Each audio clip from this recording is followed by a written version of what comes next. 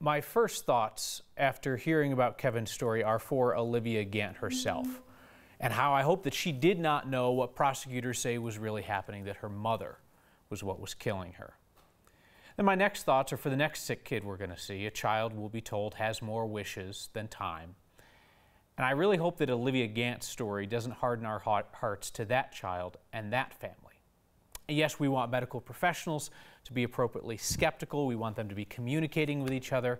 Absolutely want everyone to be very careful before donating a dollar to an online cause based on nothing more than a photo and a sad story. But what I want for that next child is exactly what Colorado showed Olivia Gant unlimited kindness and love and compassion.